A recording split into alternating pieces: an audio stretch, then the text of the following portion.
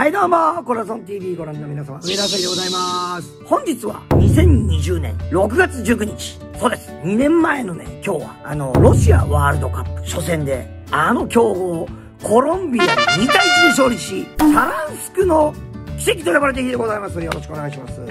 ということでね、あの、当時の監督の西野さんはね、あの、1996年、アトランタオリンピックの時にもブラジルを倒して、それも初戦だったね、マイアミの奇跡なんていうのを起こしたんですけども、まあなぜ奇跡と言われるかというならば、その4年前のブラジルワールドカップの時にコロンビアに俺らボコられたと。4点取られてボッコボコにされたと。それ以外でもうまあ勝てねえんじゃねえかって、向こうの方が強豪じゃねえかっていう中、日本がただ勝っただけではなく、アジア勢としても初めて南米のチームをワールドカップ本戦で倒した。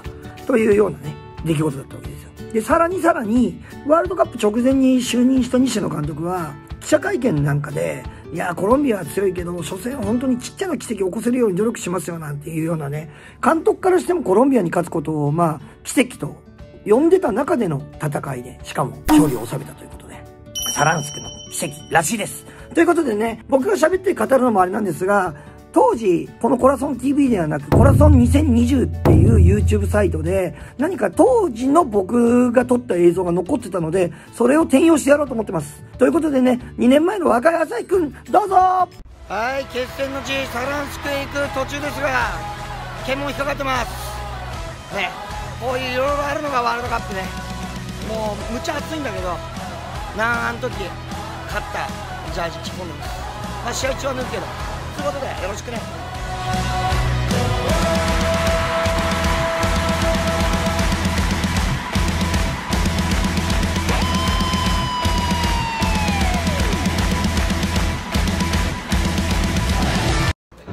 はいスタジアムのそばで車を降ろされ今東でスタジアムへ向かってます。でこれがねあの降りたところと乗る場所がまた違ったりとかするからね。こういうバスは大抵迷子出ます。ということで1人か2人置いて帰りましょう。よろしく。は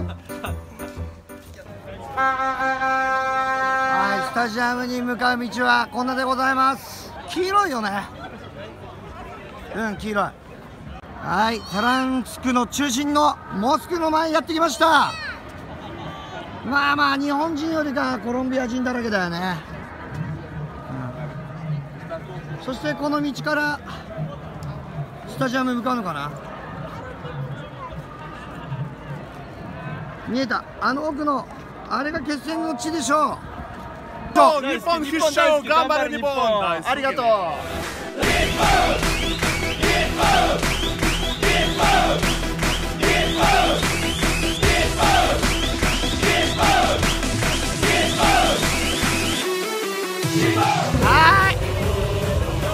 アムの中心部では日本人コロンビア人入り乱れて大記念撮影大会です。やっぱ自撮りだよね自撮り棒大事だよねこれね俺のアミーゴアミーゴジャパンコロンビア